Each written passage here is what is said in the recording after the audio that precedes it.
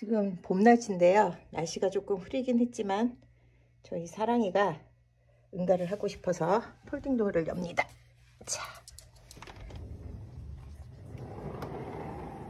우후. 봄 날씨가 확 느껴지네요. 사랑아 엄마 꽃신 갖고 올게. 잠깐만 기다려. 조금만 기다려.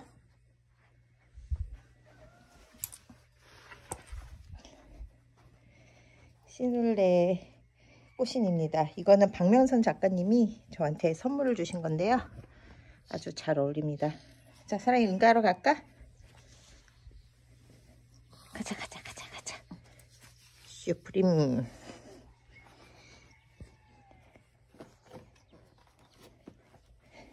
자, 사랑이 응가하세요. 사랑이 응가해.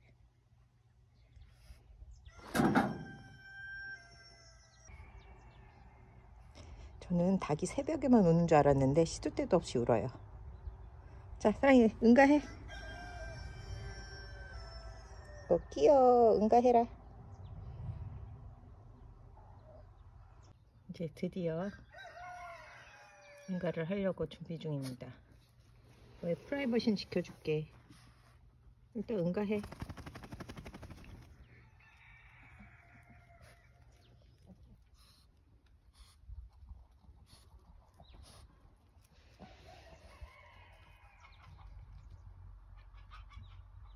모자이크 해줄게.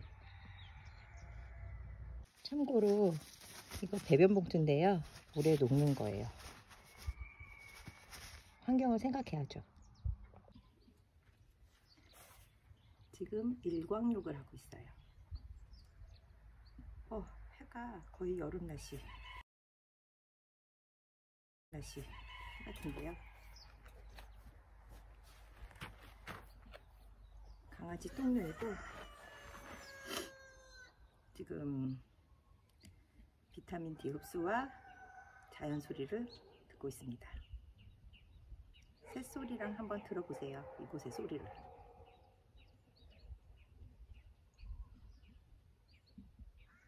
우리 사랑이.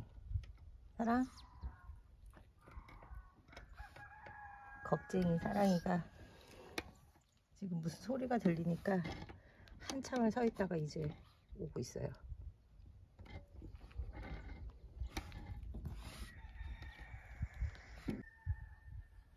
조금 여기서 더 있다 들어가자. 아무도 없으니까 이거 쓰고 있어도 네 창피하지 않아요. 근데 갑자기 지나가다 보면 저 여자 뭔가 할 것 같아요. 다행히 아무도 없습니다. 사랑이가 닭소리와 개소리가 무서워서 들어가자고 하네요. 그래서 들어왔습니다. 어, 고양이 한 마리. 여기 가끔씩 저렇게 와서 저희 사랑이의 흔적을 느끼고 있습니다. 오랜만이네 까만 고양이. 안녕.